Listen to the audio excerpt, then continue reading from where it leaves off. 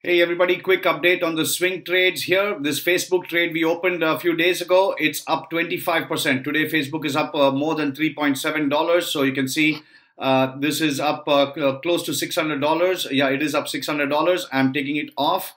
And uh, so that will be almost a 30%, 25% uh, at least return on that. So I'm closing Facebook, sell 5 Facebook at 585.